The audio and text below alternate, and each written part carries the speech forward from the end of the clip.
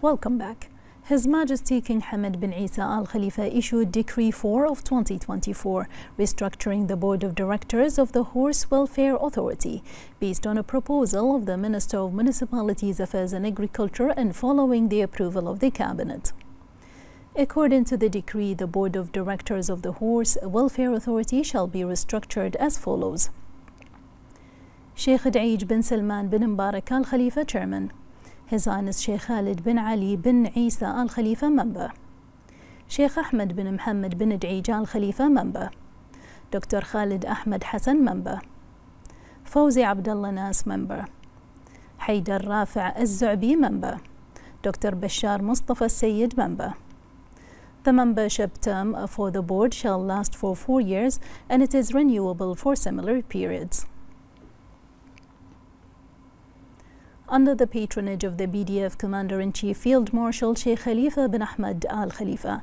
The arrival ceremony of the Kingdom of Bahrain ship uh, Khalid bin Ali belonging to the Royal Bahrain Naval Force RBNF to Bahrain was held in the presence of the Minister of Defense Affairs Lieutenant General Abdullah bin Hassan al-Naimi and the Chief of Staff Lieutenant General Dia bin Sagr al-Naimi.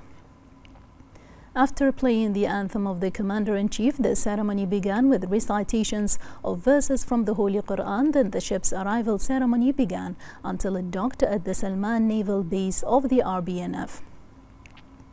Field Marshal Sheikh Khalifa was briefed by the commander of the RBNF, Rear Admiral Muhammad Ibrahim Al Bin Ali, about the ship. After that, they, he greeted the project officer, the captain and assistant captain of the ship. He conveyed the greetings of His Majesty the King, the Supreme Commander of the Armed Forces, and His Royal Highness the Crown Prince, a Deputy Supreme Commander of the Armed Forces and Prime Minister. He also congratulated the Bahraini crew on this achievement and for their ability to carry out the missions of the trip with efficiency and professionalism.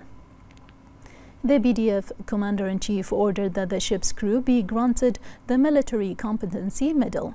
He affirmed that the ship's arrival reflects His Majesty the King and His Royal Highness the Crown Prince and Prime Minister's support to RBNF to enable it to perform its national tasks and protect the nation's gains, coasts and regional and economic waters, as well as enhance operational and developmental integration with other BDF forces, units and security bodies in protecting developmental gains and supporting national projects during the era of His Majesty the King. The Commander-in-Chief expressed pride in the role of the RBNF's affiliates and their dedication to performing their tasks of securing Bahrain's regional and economic waters and their participation in combating external threats that affect international maritime traffic.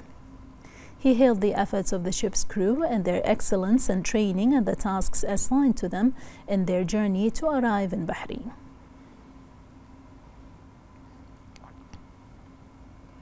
The Deputy Prime Minister Sheikh Khalid bin Abdullah Al Khalifa in the presence of the Minister of Municipalities Affairs and Agriculture, Engineer Wa'il Mbarak, the Southern Governor, His Highness Sheikh Khalifa bin Ali Al Khalifa, and a number of officials, the Southern Municipal Council Chairman, and members and citizens inaugurated the new Rifa Central Market following its renovation.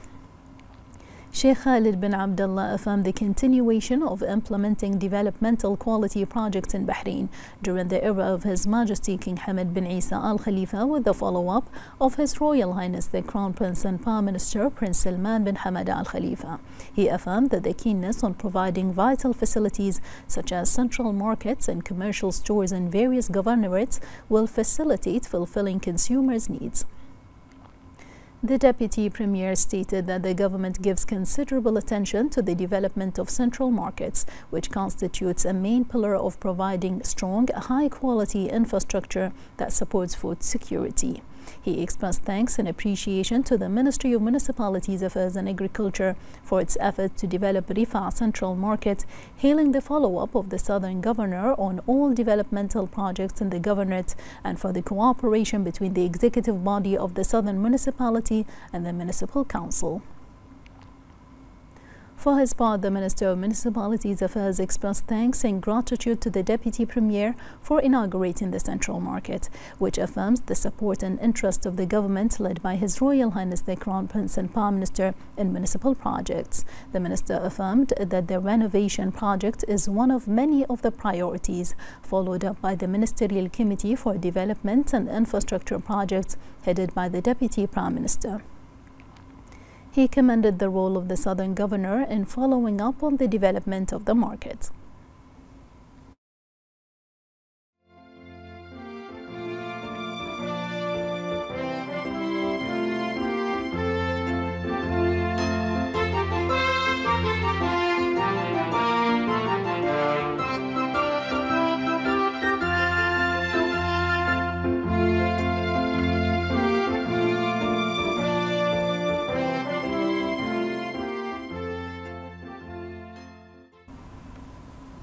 The Minister of Foreign Affairs, Dr. Abdul Latif al-Zayani, participated in the extraordinary ministerial level meeting of the Arab League Council, which focused on supporting Iraq.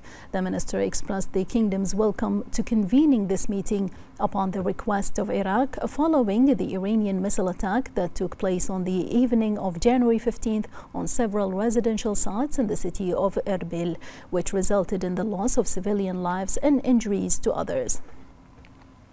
The minister expressed the kingdom's strong condemnation of the act. He offered his sincere condolences to the families of the victims, the government, and the Iraqi people, and wished a speedy recovery to the injured. The minister reiterated Bahrain's firm position towards Iraq and its rejection of foreign interference in its internal affairs from any external party. The Minister of Foreign Affairs, Dr. Abdul Latif al-Zayani, also participated in the extraordinary ministerial level meeting of the Arab League Council to support Somalia in its confrontation against attacks on its sovereignty and territorial integrity. The minister expressed the kingdom's welcome to address Somalia's request to confront Ethiopia's attack on its sovereignty and territorial integrity. He expressed concern over tensions arising from Ethiopia's Memorandum of Understanding, which undermines Somalia's sovereignty and stability. He emphasized the importance of respecting good neighborliness, state sovereignty, and non-interference in international relations, stating that violating these principles can exacerbate tension, undermine regional stability, and threaten peace and security. Az-Zayani emphasized the importance of the Arab League Council's support for Somalia's sovereignty and independence and called for the active Arab diplomatic action to address the urgent crisis affecting the Horn of Africa region's security and stability. In the presence of the Minister of Foreign Affairs, the ministry organized a dialogue session on the El Madar Center and the formulation of analytical perspectives on global events. The chief of El Madar Center, Ali Al Arifi, explained the center's role in monitoring regional and global events, coordinating with ministries and diplomatic missions, as well as serving Bahraini diplomacy goals. He highlighted the center's distinguished position under the leadership of His Majesty the King and the support of His Royal Highness the Crown Prince and Prime Minister.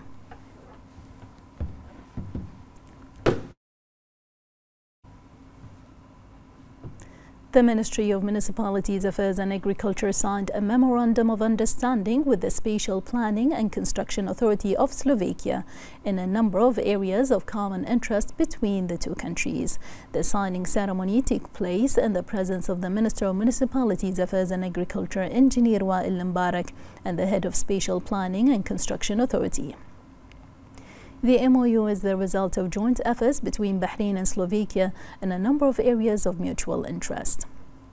Al Mbarak noted that the MOU stipulates that the two parties will implement activities aimed at supporting the development of joint cooperation and benefiting from Slovakia's experience in systems and laws regulating buildings and urbanization and smart monitoring of building violations. The High Committee for Hajj and Umrah Affairs held a meeting chaired by the Minister of Justice, Islamic Affairs and Waqf Nawaf bin Muhammad Al Maouda to follow up on the progress of preparations for this year's Hajj season in line with the schedule and the plans set by the Kingdom of Saudi Arabia. The meeting discussed the development of regulatory procedures related to the affairs of pilgrims of Bahrain. The committee reiterated the call urging citizens and residents wishing to perform Hajj rituals this year to register with licensed Hajj campaigns and reserve their seats before the end of the specified period on February 20th, 2024. The ministerial meeting of the non-aligned movement was held in Kampala, Uganda, with the participation of Bahrain's permanent representative to the UN in New York, Ambassador Jamal Faris al the meeting was held in preparation for the Non-Aligned Movement Summit, Kampala Summit, at the leaders level to be held on January 19th and 20th. The participants affirmed the non-aligned movement's goals and its principles that call for promoting international peace, security, peaceful coexistence, and friendly sovereign relations based on state sovereignty and non-interference.